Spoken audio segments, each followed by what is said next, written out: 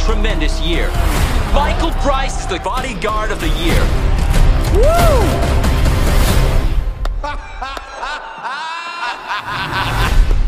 Is he a relative of yours? God, no. Darius Kincaid's a hitman wanted for like a zillion murders around the world. And how often do you have this dream? Just once. Well, that's not A too- night. Right. I'm thinking you need to forget bodyguarding.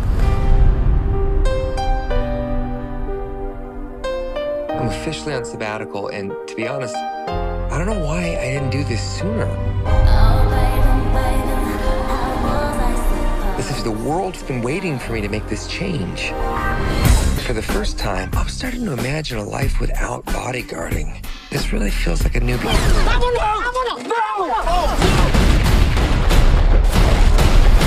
Don't I know you? The mafia took my husband. Kill them.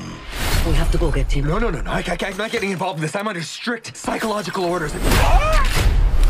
I promised my therapist no bodyguard.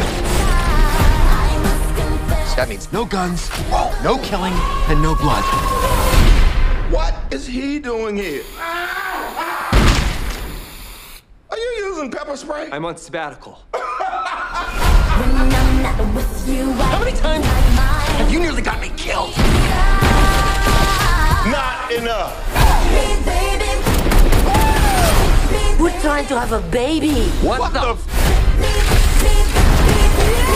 I would make a great mother, don't you think? Oh my god, a child would be so lucky to have you as its host.